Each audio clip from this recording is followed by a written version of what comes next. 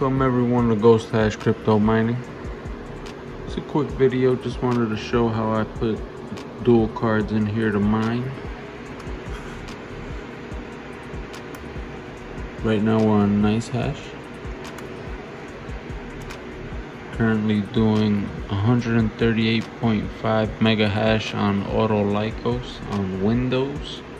As you know, most of my rigs are on Hive OS, but really simple to mine on Windows. I'm going to show you guys in this video how to mine on Windows in case you have a PC laying around and you wanted to mine. As long as it has a graphics card, you can mine.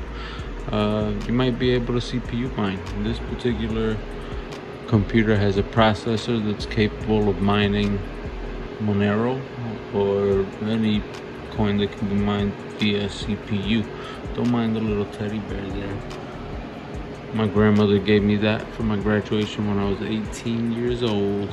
So, so long ago. Anyway, folks, um, I want to get into how to do this. This should be a very short video, shouldn't take long.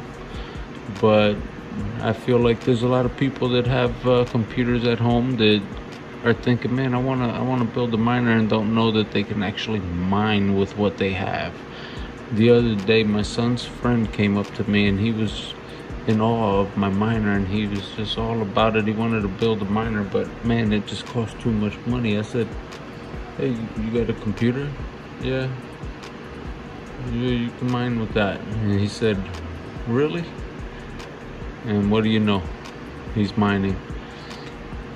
Not only that he has a couple of computers in his garage, a little older with 4 gigabyte GPUs already in them, so collecting dust. So there, there are a lot of folks out there that don't know that you can build something like this really cheap. Uh, this setup here is about 500 bucks to build and uh, you got yourself a little mini miner that does about three bucks a day here. Um, I'm thinking about adding a third card or a fourth card. I can pretty much suspend them from the top of the case here with zip ties vertically here next to them, next to these two. Or I can put one horizontally here and one vertically here. But I'm about to add two cards to it. Something else that I realized, I saw an ad today um, that they're making Bitcoin space heaters. Bitcoin space heaters. I'm gonna find it and I'm gonna link that in the description as well. But that's nuts, man. Um, why pay for a Bitcoin space heater where I'm sure you're not gonna profit near as much as if you build your own space heater? This thing's pumping out some heat right now. I have no problem uh, with keeping my house warm while I'm mining. It's, it's just not an issue. I have the opposite problem in the winter everybody's walking around in shorts. Anyway i don't want to waste any more of you guys' time. Thank you guys for listening. Let's get right into the video and let me show you quickly how to mine on windows. Okay so here we are at the computer. Currently mining on team red miner autolykos using NiceHash pool Right now I have uh, two GPUs plugged into this PC here. Uh, doing about 69 68 mega hash uh, I can push it a little more but it's where it's, it's, it's more stable this way. And, and the computer performs better especially when I'm recording a video anyway I want to make this quick tutorial on how to mine on Windows so I'm not going to use Team Red Miner since I have that one already downloaded. I'll download a, a fresh miner and we'll get this thing mining on a, a different miner from scratch. So first and foremost you want to make sure that your system has a graphics card that's capable of mining. And to do that you want to go to device manager. Along this you're going to see display adapters go ahead expand that. And as you can see here I have two RX 580 series. These are 4 gigabyte GPUs okay so now that we know that you have a GPU that's capable of mining let's get us a miner. Alright so we're gonna use lol miner. You want to download lol miner? Boom. And we're looking for lol miner github. Download here you want to open file extract to specified folder and for our sake we're going to use desktop and hit ok. So close this. We have version 1.33 here in our desktop. So you're going to want a tool to adjust your overclock and you know make sure that everything's running stable. I use MSI Afterburner on Windows I don't have a whole lot of Windows experience mining, but this works uh, as advertised for me. I'm not upset about it in any kind of way. It works great. Um, I see mixed reviews on it, but I recommend downloading this. That way you can control the overclock settings on your GPUs so in this uh, folder, you're going to see all the algorithms that you can mine. This is the LOL 1.33 folder that we just downloaded and unzipped to the desktop. Now to set this up, before you start mining, you got to add your wallet address and point this to the correct pool, the pool that you want to mine to. So I'm going to teach you how to do that. So I would definitely look into pools and do some research on pools. There are many options. You don't want to uh, load all the hash hash rate into one pool. You want to spread that out across multiple pools. Uh, it keeps the network decentralized and stable. So for now I'm going to use hero miners. It's the pool that I've always mined to. So I'll show you guys here. Click hero miners ergo. Let's go to the home page this is your home page now if you want to start mining here you go. This is the algorithm and this is the address you're gonna need. Look for the US address ergo hero miners 1180 you wanna copy that.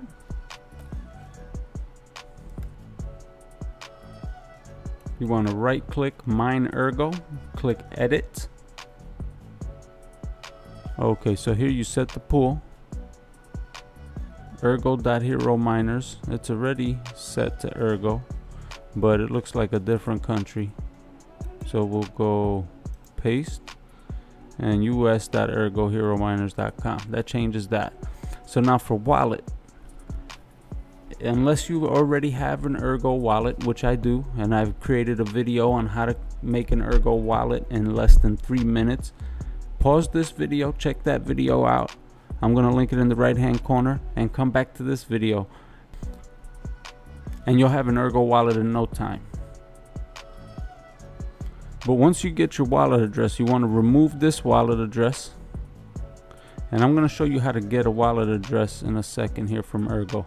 But you want to remove this wallet address and replace it with your new Ergo wallet address. So you want to go to your Ergo wallet and you want to go into this receive tab. You click that and voila it generates your address right here. You copy it. You go back to your miner. You want to name your, your worker. In this case we'll name it the blessed rig. Okay. And that should do it. So now you want to go to file, save as, mine ergo dot bat make sure you know so you could differentiate between the one that you just created and the one that already exists. You want to name this something else. Mine ergo hero miners dot bat. And then you want to change the save as type from text to all files. Make sure you put the dot bat that's very important at the end and save as type from text to all files. Then hit save and you're gonna see it right here. Now your miner's all set. You have afterburner downloaded. You want to look online for your particular model of GPU and start off with a recommended setting for your GPU so now that we're here you're going to start your miner and as you see it says GPU 1 building ergo dataset completed and GPU 0 completed average speed 15 seconds 46.4 mega hash, 47.34 mega hash total, 93.7 mega hash so far. Okay, so GPU 0 has gotten to, or GPU 1 has gotten to 67.9 mega hash, and GPU 0 is still at 46. Okay, and then we accepted our first share. So we're mining. So just like that, you're mining on your PC and turning that into cash, turning a liability into an asset. Currently with these two cards, I make about three bucks a day on this rig. It's about 90 bucks a month. But if you do the math, you can pay off a computer in no time. And these cards are not even high-end cards. These are low-end cards, four gigabyte cards from 2017, 2018, 2019, around that time. I'd say 20, it's more like 2017, 2016. But anyway, I don't want to take any more of your time, guys. I appreciate you watching. I'm going to make a video when I add the two cards, two more cards to this rig. Um, I'm going to turn this into a space heater. It already blows out pretty much heat. I was experimenting with creating a space heater, a crypto mining space heater uh, last winter, and it actually worked out pretty well. Um, I wouldn't even, it wasn't even winter, it was more like uh, a cold spring night. I haven't been mining long enough to mine during the winter, but we're gonna try this this winter and see how much a space heater can pay me as opposed to the other way around, which uh, you know is pretty expensive. I know I've seen advertised Bitcoin space heaters, as I said earlier in the video, but um, it just doesn't seem as profitable as building your own. So it's going to be a project of mine. I'm going to try to, so I'm going to monitor the internal temperature of the unit. We're going to come up with a way to do that, maybe a thermostat inside and we're going to monitor the output temperature of the heat being exhausted. And we're also going to monitor the ambient temperature of the particular room that we're going to space heat with space heater and see overall if plugging these in will help save me on energy during the winter months.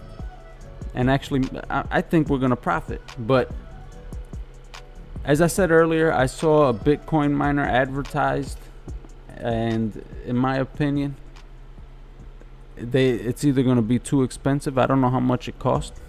I don't I don't even know where that website is. But let's take a look. So here I found some general specs. Power consumption 1300 watts, 14 terahash max hashing power. So essentially this seems like an S9 built into a heater. Very smart way to repurpose the S9 into something more valuable. I, I will give them that. That does make a lot of sense. So I can get the same hash power out of an S9 but without the noise and take advantage of the free heat. That's a great deal and it, it costs you 300 bucks more. So in that respect, I think it's a great deal. I'm not gonna run out to buy one of these because like I said earlier, you can mine, you can build your own space heater. This thing pumps out tremendous amounts of heat. It only consumes about 300 watts of electricity. Costs me about 85 cents to run a day and it makes me about $3 a day total revenue. So I'm pocketing over $2 a day, $2.20 sometimes, $2.30. And you do the math, I'm to ROI a lot faster than somebody that has one of these. I'm, I'm to consume a lot less electricity. My electric bill is to come in a lot lower um, because the power that it's to take to run this unit is to be a lot less and it's to prevent my actual heating home heating unit from going off. So this is the, the Bitcoin space heater is going to prevent your home heating unit from going off, but it's going to cost you an arm and a leg to do so.